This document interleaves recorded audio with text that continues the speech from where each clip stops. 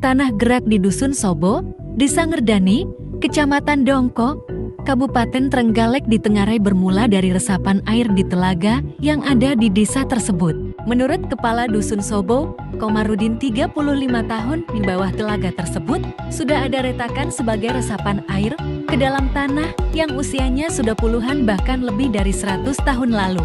Setelah turun hujan, kedalaman air di telaga itu bisa mencapai separuh ketinggian badan orang dewasa, ucap Komarudin, Jumat 3 Maret 2023. Namun begitu, ia dan masyarakat sekitar hanya menduga-duga karena memang retakan tersebut melintang dari timur ke barat dan ujungnya adalah telaga tersebut. Retakannya ini seperti bergelombang, satu sap ada retakan, lalu tengah utuh, tapi tanah di atasnya lagi, ada retakan lagi, bersap-sap seperti ada lampengan.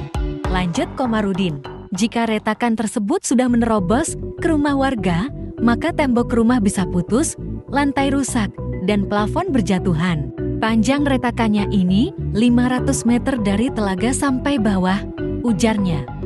Komarudin menyebut retakan besar pertama di permukiman warga sudah muncul pada bulan November tahun 2022 lalu di rumah seorang warga bernama Nur Salim. Sampai rumahnya roboh, bahkan sekarang sudah dibongkar.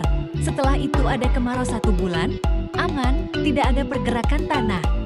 Lalu di awal tahun 2023, ada curah hujan yang tinggi, sehingga ada susulan yang lebih parah, jelas Komarudin. Saat ini, ada 14 kepala keluarga yang terdampak hingga sebagian harus mengungsi karena kerusakan rumah yang parah. Semua instansi terkait sudah kami beri laporan secara tertulis berupa laporan fisik, secara tertulis termasuk video keadaan lokasi, terangnya. Satu-satunya solusi yang diinginkan warga adalah dilakukan relokasi permukiman karena lokasi tersebut sudah tidak layak ditempati atau dibangun rumah kembali. Dari musyawarah, warga mengusulkan relokasi 10 rumah atau 14 kakak agar bisa pindah ke lahan yang lebih aman, pungkasnya.